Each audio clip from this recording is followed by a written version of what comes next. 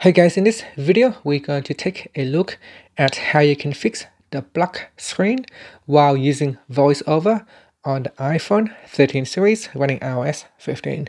Now this happens maybe maybe because you have accidentally uh, turned on um, screen curtain and this is what you have to do to uh, turn it off. So with three fingers, you want to triple tap on the screen. So like this, one, two, three. Screen curtain off and that will bring the screen back on. Now, if you have zoom turn on, Zoom off. Zoom off. Zoom off. On. okay, Zoom so if you Double have tap setting.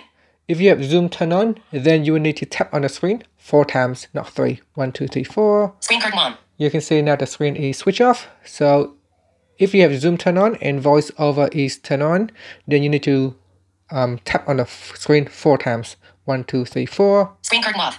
Okay, so if zoom is switch off, Zoom on. Off. Screen then on. you will need to tap on the screen three times.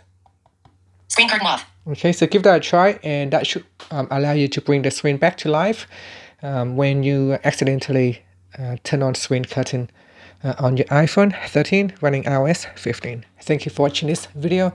Please subscribe to my channel for more videos.